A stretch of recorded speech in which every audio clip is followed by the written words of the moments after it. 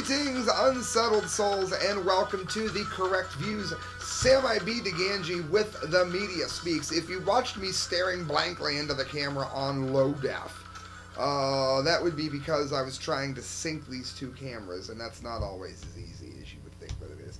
Friends, that brings us to why you are all here, of course, the Dumdy of the day.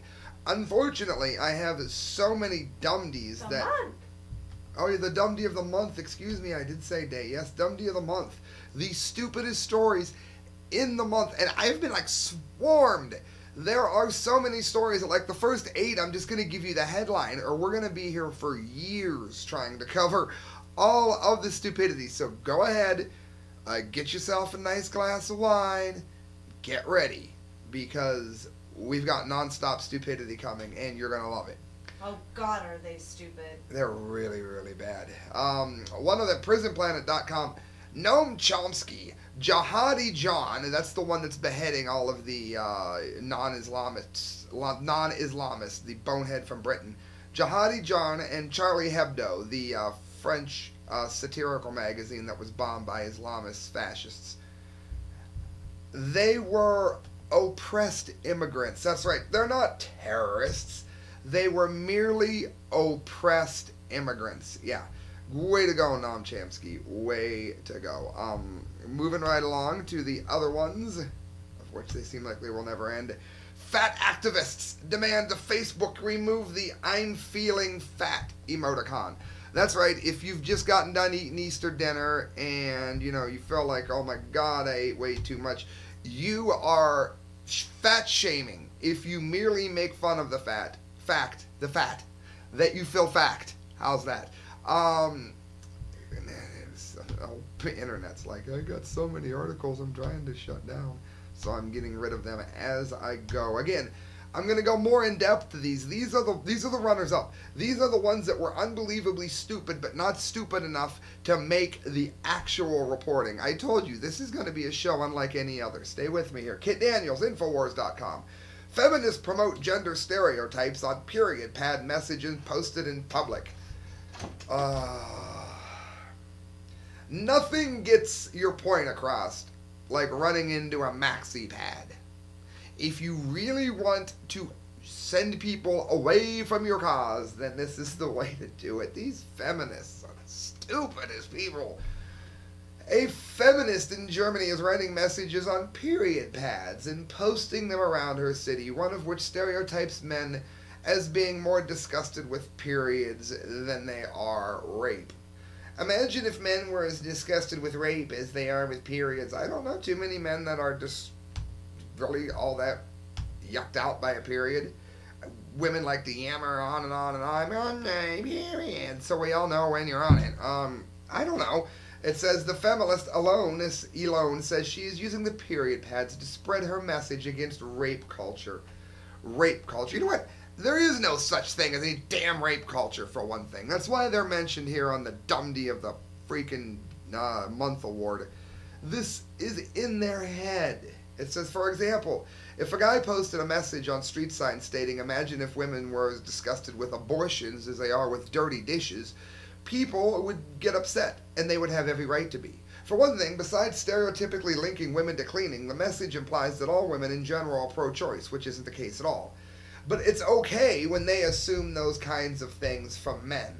And that is, friends, exactly why it's getting mentioned at the Dumdy uh, the Month show. Don't forget this cop threatens to confiscate four year old's bike. That's right, the kid was on a trail. He was riding on a trail. You can't do that in America today. A four year old rebel thought he'd gotten away with the perfect crime when he defiantly pedaled when she defiantly pedaled her bicycle on the sacred pavement of a UK footpath. But the criminal chagrin and duteous officer stringently enforced an ordinance, thank God they saved them, protecting the walkway from delinquent cyclists, and went above and beyond the call of duty by threatening the miscreant's two wheeled property. The parents of little Sophie Lindy were puzzled by the police encounter last week, in which the Lincolnshire piece of scum officer stated that he had the authority to confiscate their daughter's bike.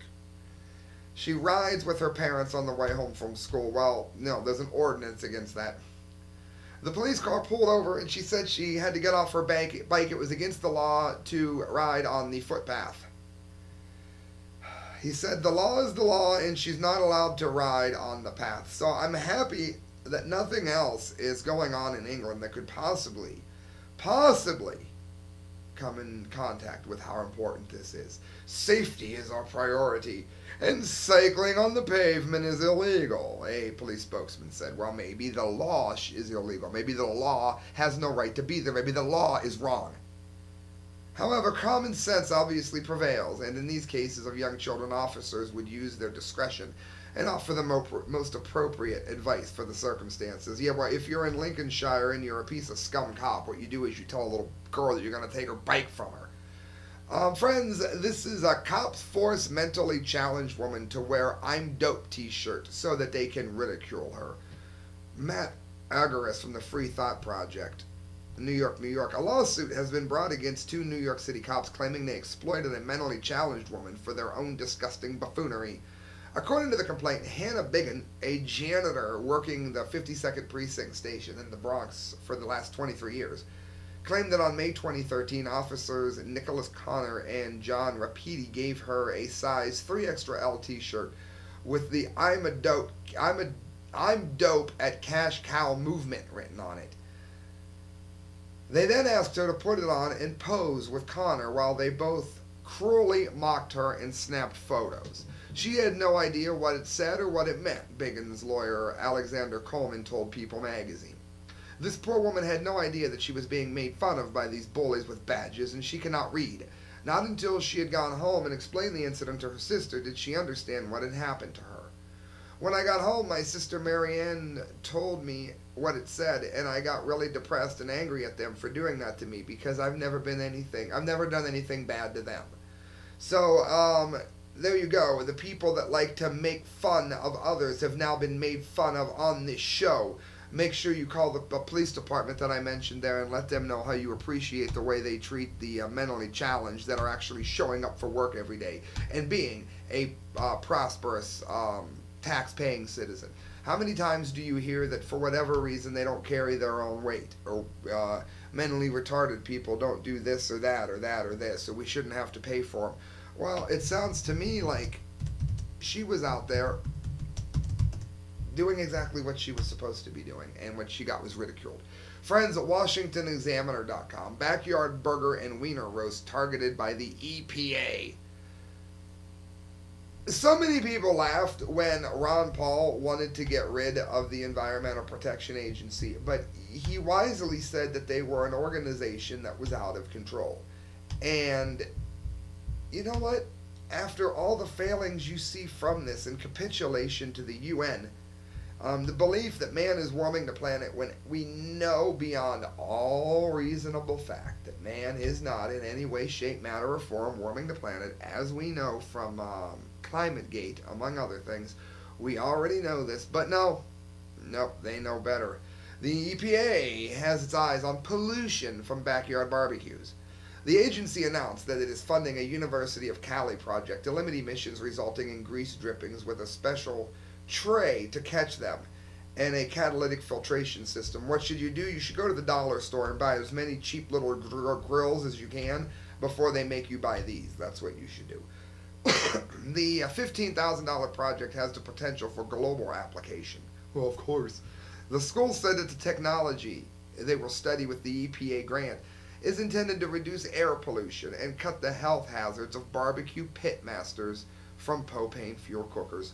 Charged with keeping America's air, water, and soil clean. Never mind that, you know, they don't test our food for Fukushima poisoning. The EPA has been increasingly looking at homeowners, especially their use of pollution emitting tools like lawnmowers. It's been said for a long time they're going to go after the barbecues, they're going to go after the uh, people that mow their lawn, that water their lawn. All of this is under the guise of stopping global warming. And you remember, there is no global warming happening by anything that man is doing in any way, shape, matter, or form. What's happening is, is this is an excuse to get taxes out of people, to get um, to strong arm money out of the citizenry by the state. That's what this is all about, friends. Um, UN says conservatism is a threat to women's rights, but downplays Islam. That's right. Ron Paul, Rand Paul, Judge Napolitano, Gary Johnson, uh, they're all conservatives, and they are a threat to women's rights. But, you know, not Islam, that beheads women for driving, that doesn't let them get an education, that makes them dress like the Grim Reaper in the middle of the summer. No, no, not at all. PJ Dub has a great article, Her Prison Planet. A United Nations report concerning threats to gender equality identifies conservatism as a major impediment, yet completely downplays how the religion of Islam oppresses women all over the world. UN Women Executive Director Phumzile Mlambo Ngcuka spoke on the issue during the opening session of the Commission on the Status of Women in New York yesterday.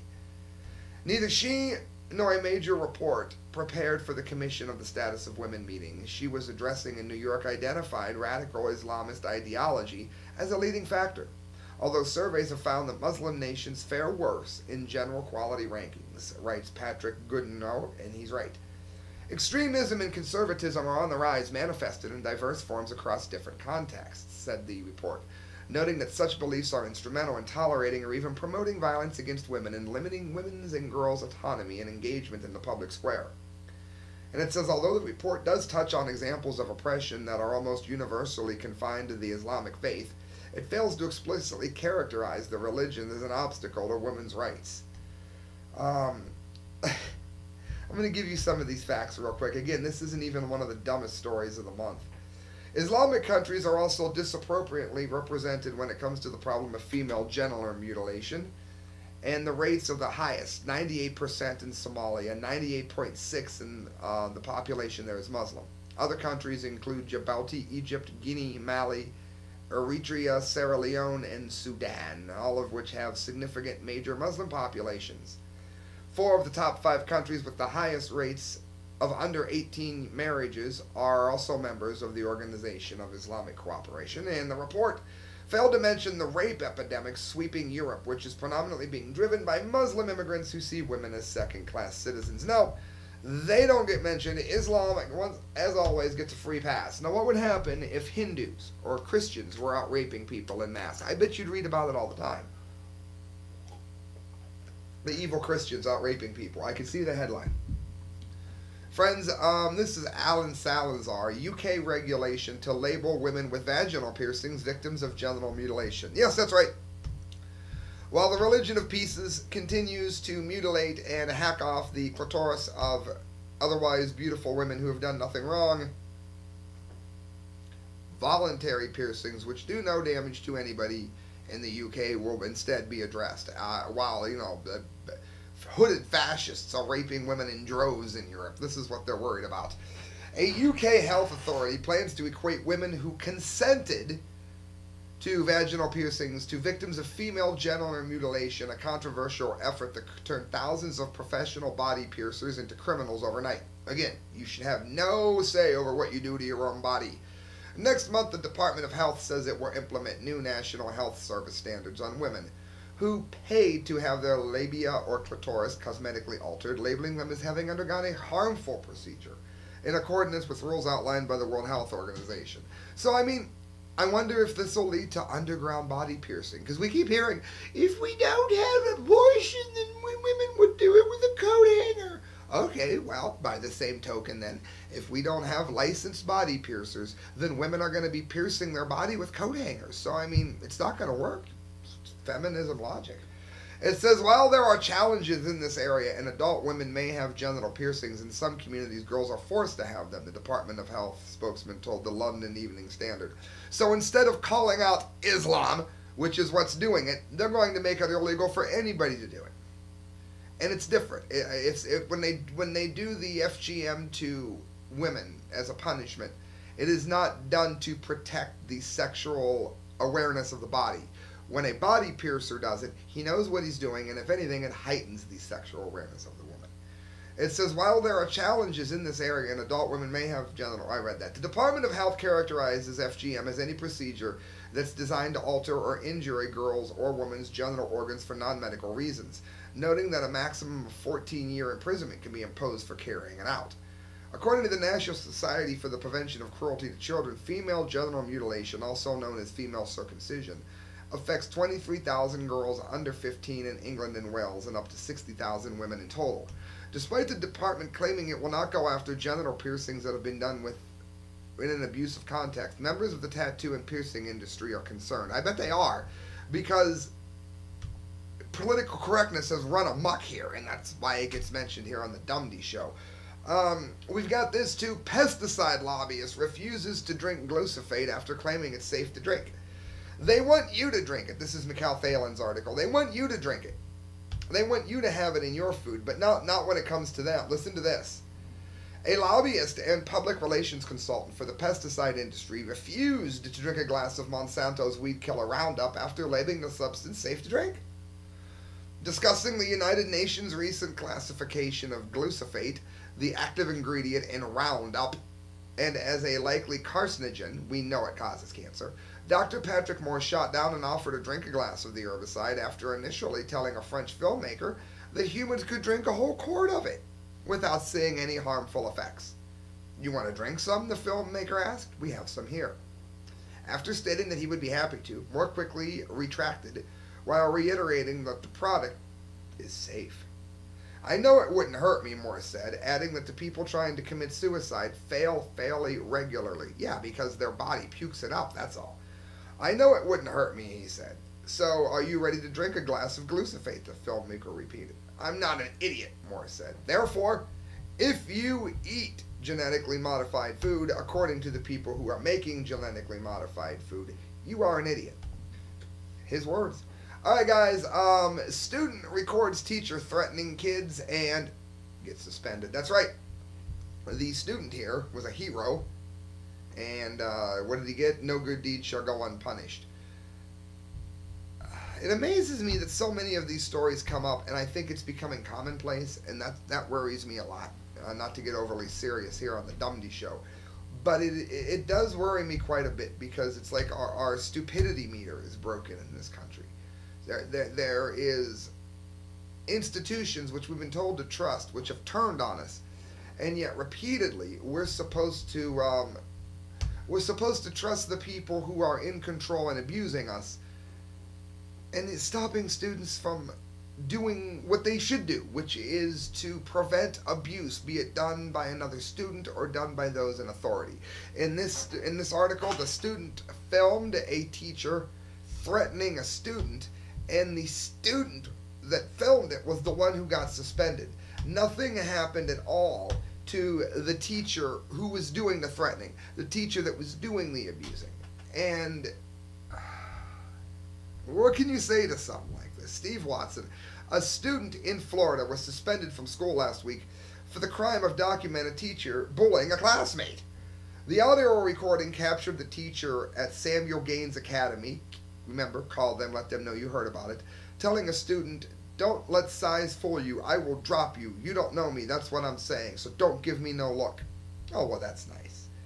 It says the audio also contains a section where the teacher tells the child, You're the biggest kid in the fifth grade and you're acting like the smallest one. I wonder what your mom looks like. Yeah, you know, get, get the other kids to do mom jokes. That's a good idea. When 11 year old Brianna Cooper took the audio recording to school officials, instead of thanking her for bringing it to the attention, they called it illegal and suspended her for five days. So what do you do? You call the Samuel Gaines Academy and let them know that you heard about it. That's why I do these shows, people. That's why I do these shows. I'll point out where the stupidity is, but it's up to you guys to bring it home and make it stop. I mean, I'm one man here. You can donate to this one man at the correct views at hotmail.com. Look up our mission statement. I'm trying to make this my job, what I do, three hours a day, five days a week. And I can't do it without you donating. Friends, Apple CEO slams religious freedom law after doing deals with countries that execute gays. Yes, that's right. Apple CEO and obviously real brilliant man Tim Cook slammed Indiana's religious freedom law after critics claimed it would lead to discrimination against members of the LGBT community. But such concerns didn't stop him from doing deals to sell iPhones in Islamic countries that execute gays. For those of you that don't know, um, Indiana has said that you do not have to if you are um, if you are making wedding cakes. You do not have to cater a gay wedding. There are enough people that will cater gay weddings. It's up to the person who owns the business to decide, as it should be. Well, um, he's speaking out against that. This brilliant man, mine here, Tim Cook. But he's not saying anything whatsoever. He has no worries at all, no scruples about selling iPhones in countries that kill gay people. And there is something wrong with that. Indiana Governor Mike Pence has vowed to fix the controversial law by passing a follow up measure that makes it clear that businesses owners cannot discriminate against gays and lesbians. Pence has repeatedly defended the law, saying it's not about allowing businesses to deny service. The measure prohibits state laws from the substantially burden the right of a person, a religious institution, or a business to follow their religious beliefs. Numerous major companies threatened to boycott the state after the measure was passed. Apple CEO Tim Cook tweeted that the tech giant was deeply disappointed by the new law, while calling on Arkansas to veto a similar bill. He tweeted, Around the world, we strive to treat every customer the same, regardless of where they come from, how they worship, or who they love. However, his concern for members of the gay community being treated the same isn't evident when Cook chose to negotiate deals with countries that still execute people for being a homosexual. Cook oversaw the introduction of Apple products into Saudi Arabia in December last year. Saudi Arabia punishes homosexuality with floggings, chemical castration, imprisonment, fines, and executions, including beheadings. Um, he visited the Arab Emirates last year, and um, the two Apple stores in that and the UAE are eminent. And um, it says the UAE is only slightly more forgiving than Saudi Arabia towards gay. It meters out punishments of deportation, jail time, and in some cases, death. So way to go there, Mr. Cook, standing up for gay people by allowing them to be beheaded just so you can sell iPhones there. Um, journalists posing as students helped start ISIS fan club on the Florida campus. Call the Florida campus and let them know that it might not be a good idea to raise money for ISIS. Daily Caller Betsy Rothstein, uh, one of James O'Keefe's investigative journalists, went to Florida campus to walk through the hoops of starting a new club at Barry University in Miami. So he was posing as a student just to see if he'd be able to do this, to see if the school was really this uh, demented. And it is. It's not fencing or chess or anything, it's an ISIS club. You know, to give terrorists flashlights, pencils, money, or anything else that they might need. And the whole notion of starting the club is a lot easier than it sounds. On a side note, the school's alumni is Shaquille O'Neal. It says even when the fake student, and that would be Keefe's investigative journalist, approaches a school coordinator who helps facilitate the clubs, he doesn't bat an eye, even when told that she wants to do this and that she wants to assist overseas. When he sort of gets to the bottom of what he what she want what she wants to do, he replied, "So you do specifically want to send aid to ISIS?" And what do you think happened? It was okay. That's right. It was okay. Barry University in Miami was going to allow someone to raise money for ISIS. All right, friends. Uh, what are, this this this stood out to me as a particular dumdy, and this is the last of the ones we're gonna rush through. Garbage man gets 30 days in jail for picking up the trash too early. That's right. This is brought to you by StickerJunkie.com. Do you have some idea what you want your stickers to look like? Kind of, maybe, sort of. Good. Go to StickerJunkie.com and tell David Lake your idea. Let him know you heard about it from the correct views. Not only are you're going to get great stickers, but you're going to end up saving a fortune um, by telling them you heard about it from the correct views. It says it's a stiff sentence for someone who is eager to do his job, but it's true. This is from CrimeFeed.com. WSB TV says sanitation worker Kevin McGill was thrown into jail for 30 days for showing up to work too early. Apparently, McGill had recently been hired to do sanitation work in Sandy Springs, Georgia, specifically picking up trash throughout the neighborhoods. It's a job he held for three months. Trash pickup, according to city ordinances, is limited to 7 a.m. to 7 p.m. But the overly ambitious McGill was showing up in neighborhoods as early as 5 a.m. Now, again, these ordinances should not trump the right for the person to do business the way they see fit.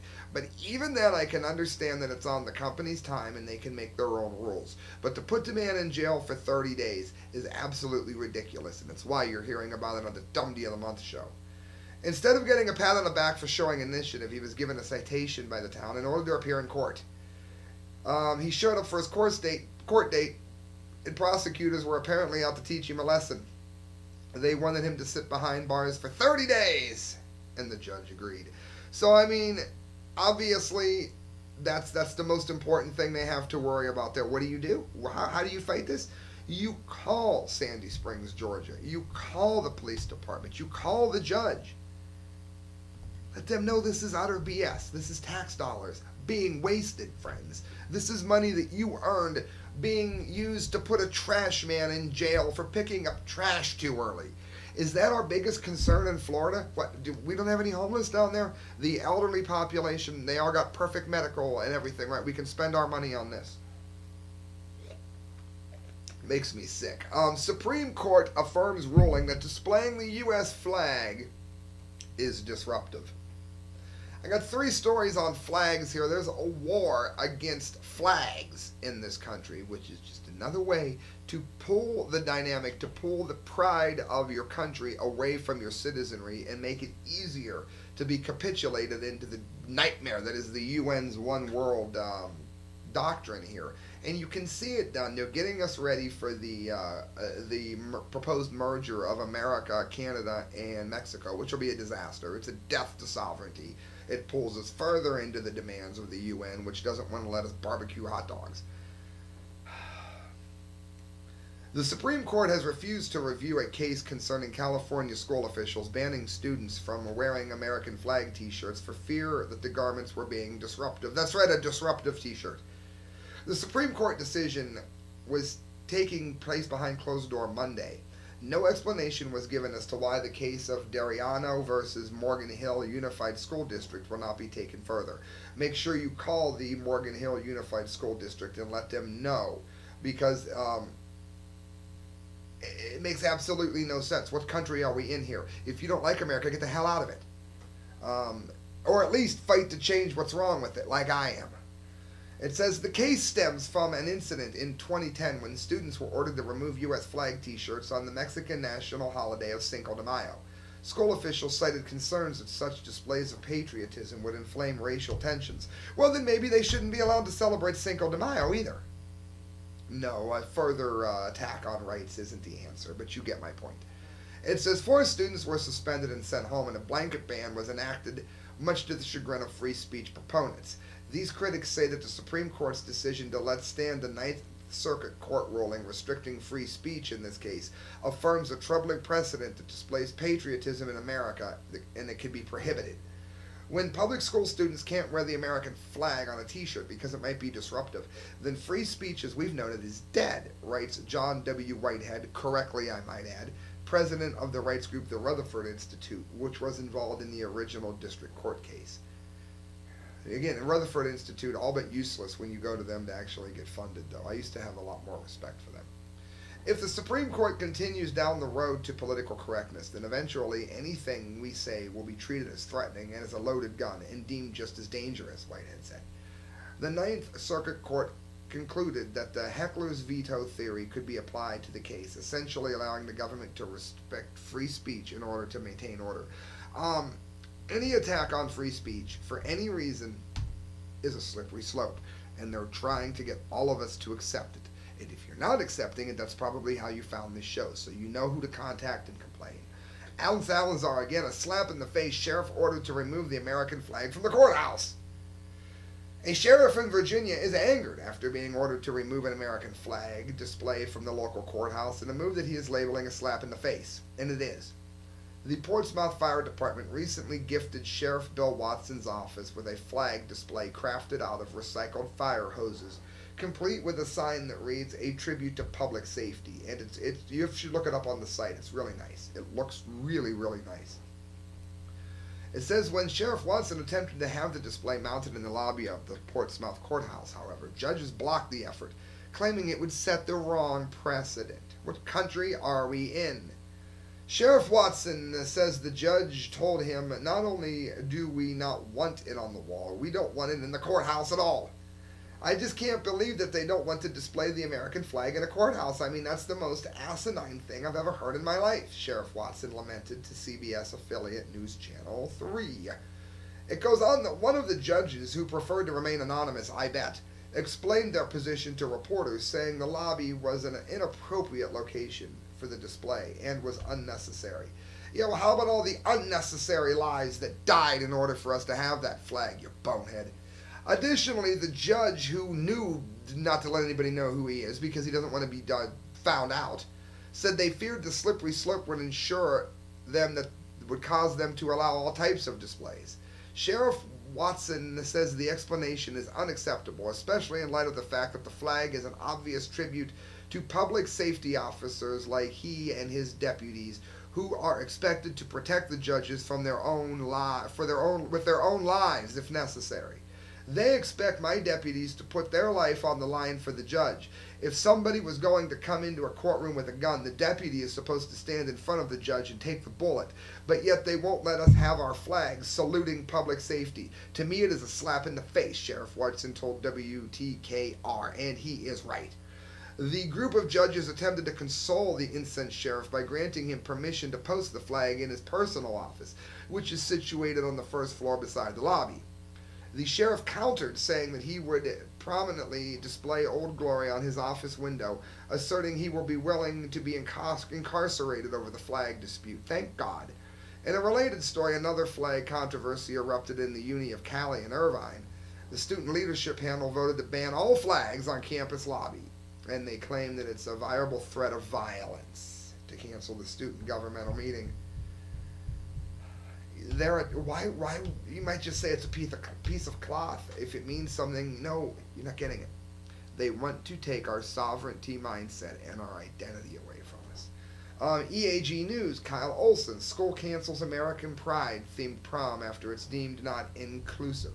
So the people graduating there if you are proud of your country then you're not inclusive why didn't you go to school somewhere else then Lexington, Massachusetts may have played host to one of the first battles of the American Revolution, but 240 years later, American pride is considered offensive to the school system. Um, students on the dance committee at Lexington High School voted for American pride to be the theme of this year's prom, which was scheduled to be held on April 10th.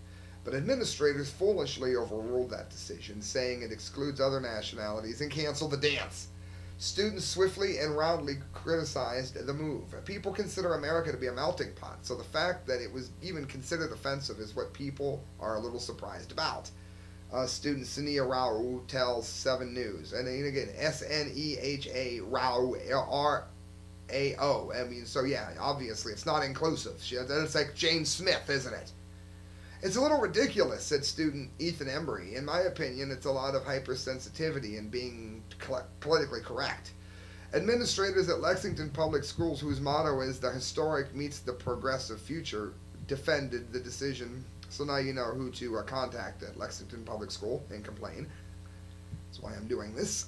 Given the diver- diverse demography of our community, it was suggested by the advisors that the students come maybe national pride themes so they could represent their individual nationalities. Yeah, who cares about America? It's on and on and on and on. It says um, the theme would not be inclusive. How in the world would any parent in good conscience send their kid to that school after hearing this? If you do, that should be considered child abuse. You're doing your kid a great injustice. Um, DailyMail.uk, two female California tourists arrested for carving huge 8 inch initials into Rome's Colosseum and then posing for a selfie. For one thing, I hate the word selfie. It doesn't make any damn sense at all. It's just a self photo, a selfie. Oh my god. Two American tourists have been arrested for carving initials into the Colosseum in Rome. There's a picture of it. Before they were spotted, the women 21 and 25 were able to carve in a J and an N into the brick wall of the first floor of the west side of the Colosseum. After carving the 8 inch high letters, the women posed together for a selfie. The women, some of the stupidest, stupidest people I've ever reported on, Just two of six million tourists that flock to the Coliseum every year used a coin to engrave the letters La Stampa, reported. They were said to have broken away from their tourist group, but other tourists saw that it had happened and alerted security, thank God. Police charged the women with aggravated damage on building of historical and artistic interest, according to Republica, the kind of boneheads that would paint a mustache on the Mona Lisa. After they were caught, the women apologized to Piazza Dante police and Captain Lorenzo Lacabone. They said, We apologize for what we did. We regret it, and we did not imagine it was something serious. So serious. We'll remember this for a lifetime. Ah, so will everybody else. According to The Guardian, the section damage dates back to the 1800s, a key period of restoration. So there you go. Some of the dumbest people you've ever seen. You hear about here on the correct views. But no, they didn't get the dunce cap of the month. They didn't get it sent to them because we've got four, three stories left, and the stupidity is mind blowing. MyFox.com. Teen convicted after spending $30,000 mistakenly deposited into his account. Now, Christelle overrode me on this. I had chosen this to win the dunce cap of the month, either this or the next one. Um, but no, uh, she's picked a different one here. Madison County, Georgia. A Madison County, Georgia teen spent the better part of $30,000, which was mistakenly put into his checking account by a bank teller. Now he'll serve the next 10 years on probation and has been ordered by a judge to pay the money back. Why?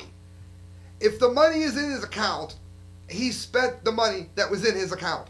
The judge and the bank both need to have you guys swarming their phone lines with outrage over the extreme stupidity of bothering this teenager for doing nothing but spending money that was in his own account.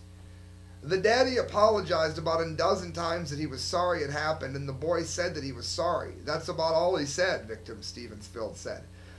Victim, he's not the victim. It says the victim and the man convicted have the same name, and they both live in Hall, a small town in Madison County. They never knew one another, even though they'd lived on the same street. The 70 year old deposited more than $30,000 into his checking account after he sold land. The bank teller, who he has known for years, mistakenly deposited into the 18 year old's account.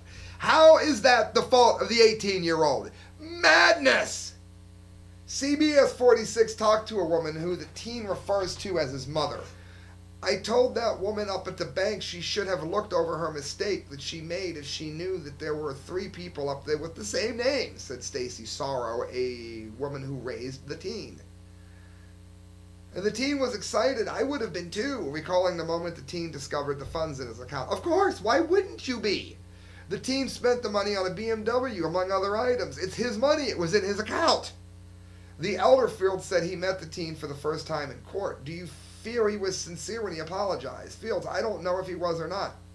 It's like when people say, I'm sorry, I feel like they're just sorry they got caught. Got caught doing what? The money was put into his account and he spent it, you stupid bastard. I hope somebody hits you in the face, moron.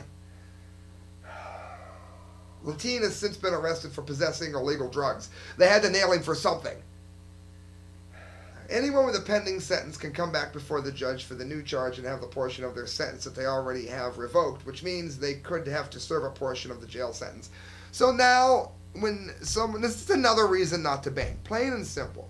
Go to themediaspeaks.com, look up how to live without banks, and you won't be sorry that you did.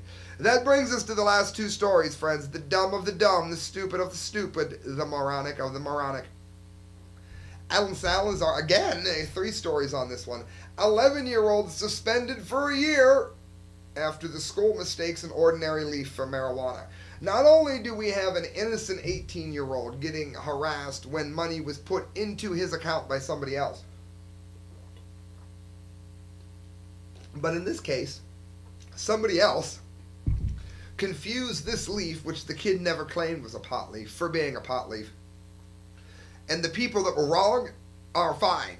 The innocent child, or the innocent 18 year old in the last story, get reamed for no reason whatsoever. A Virginia couple is suing, thank God, their son's middle school after he was wrongly accused of possessing marijuana, a false allegation that set off a chain of events that ultimately degraded the student's mental well being. Parents Linda and Bruce Bays have a federal lawsuit pending against Bedford County Schools and the Bedford County Sheriff's Office for wrongfully pinning a marijuana charge on their son, a participant of the school's gifted and talented program. Well, I mean, if he's that gifted and talented, he needs to get the hell over it, too. They aren't sure how a lighter and a leaf ended up in their 11 year old's backpack, but they're positive the extent of the punishment did not fit the alleged crime. For one field test of the leaf identified as marijuana by school officials in the county sheriff's office came back negative not once, not twice, but three times. Essentially, they kicked him out of the school for something that they couldn't prove that he did. The family's lawyer, Melvin Williams, says, commenting on the boy's 364 day suspension for a leaf. Back in September 22nd, the Bay's son, identified as RMB in court documents, was summoned to the principal's office, where he was interrogated and asked to empty the contents of his backpack. Assistant Principal Brian Wilson began by asking if he had anything he shouldn't have. He said no, according to the report in the Roanoke Times. Brian Wilson wasn't it the name of that Beatle that everybody th- uh, the Beach Boy that everybody thinks can sing? I think his voice is terrible. The principal then opened a zipper on the front of the boy's bag that revealed a lighter and a leaf. RMB's parents were told that their son was showing off the items to other students in class and inside a bathroom claiming it was marijuana. The student denies that he ever did this. School officials, however, didn't hesitate to exercise the full authority of Virginia's zero tolerance law, moving to suspend the child for a year, which of course would destroy his record and mess up his college hopes to some degree. Also, in research um, that I helped with the dunce cap, I also found that this is not the first per- person to be suspended from a Virginia school. So, Virginia, you guys might want to contact some of these Virginia school boards that I'm naming out here. It says the Bay's lawsuit also names the school's resource officer, Deputy M.M. Calhoun, who you should call, who issued a false testimony before a judge. The field test came back not inconclusive, but negative, says Williams, adding, Yet she went to a magistrate and swore he possessed marijuana at school, knowing that he did not. Despite the absence of evidence, RMB was ordered to attend an alternative school full of problem children and ne'er do wells. He was a, he was a gifted student. Now he's in a special school for like gangbangers. Additionally, RMB was forced to endure bag searches upon entering and leaving the school each day, which didn't sit well with his parents, who got the school to agree to allow him to take homeschool classes following the strictly timed regimen. The Bays say the events left their son worse for the wear and he began to fall into a deep emotional slump.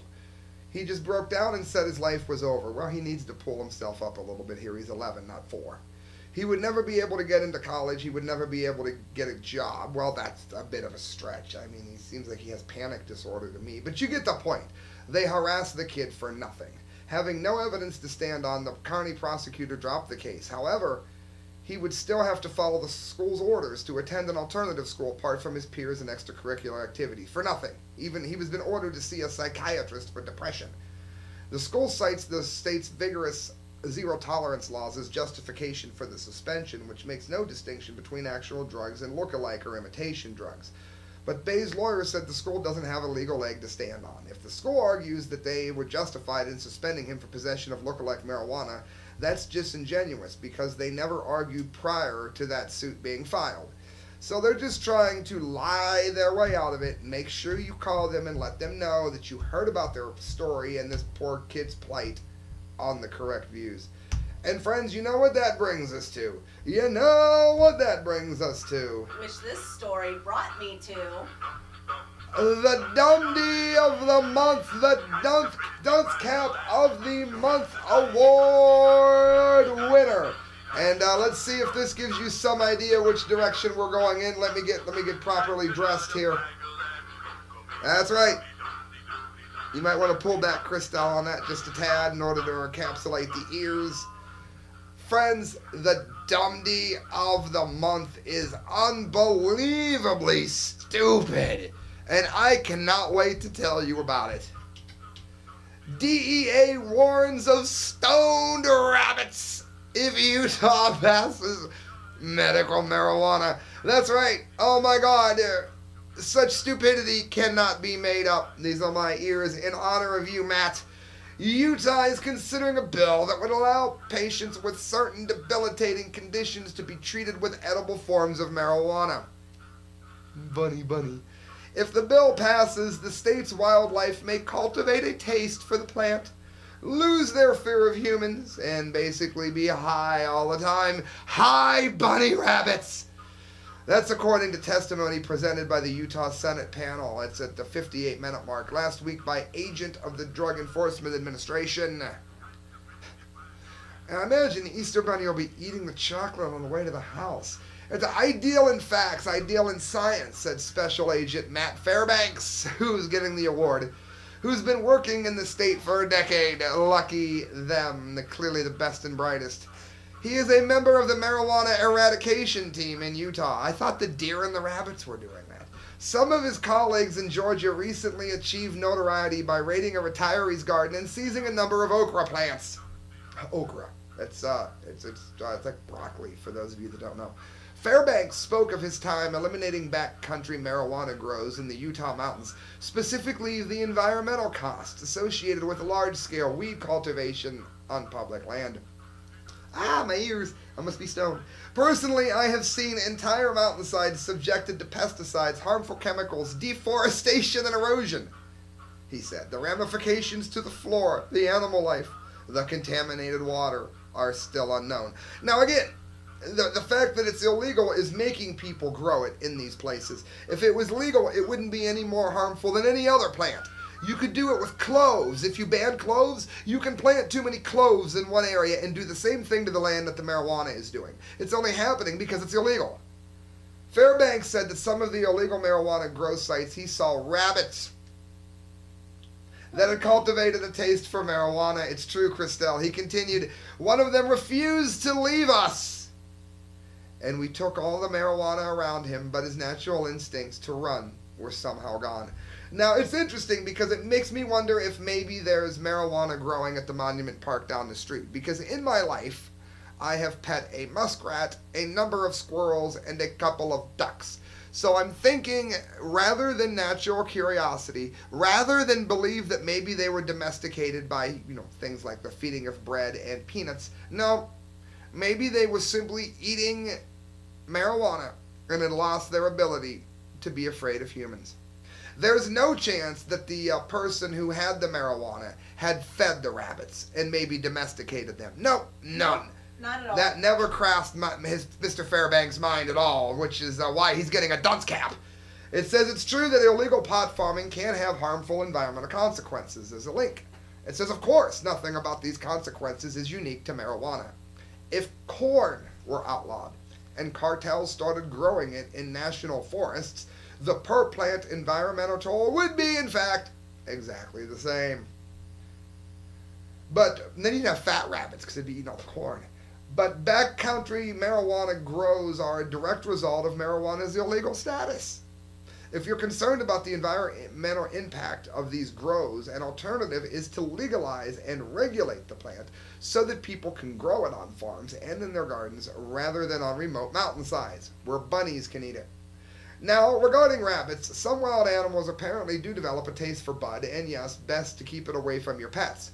But I don't know that the occasional high rabbit constitutes grounds for keeping marijuana prohibition in place any more than drunk squirrels, and there's a link proving it, are an argument for outlawing alcohol. Yes, it happens. Maybe that's why I got to pet them. And let's not even get started on the nationwide epidemic of catnip abuse. That's great. Again, you do get your cats high all the time, don't you? It said there was a time not too long ago when drug warriors terrified a nation with images of the devil's weed and reefer madness. Now it seems that enforcers of marijuana law conjuring up a stoned bunny. Not scary enough for the Utah Senate, it seems the panel approved the bill and sent it to the full Senate where it be debated.